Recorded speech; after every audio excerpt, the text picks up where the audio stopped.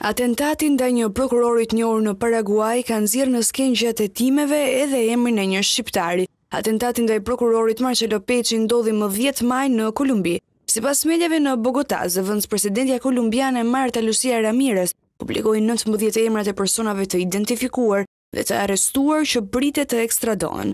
Mes tyre janë dy italianë, një holandez dhe një shqiptar, të tjerët janë shtetas kolumbianë. Zëvendëspresidentja kolumbiane tha se shqiptari i dyshuar si i përfshirë në këtë atentat quhet Kliton Dega.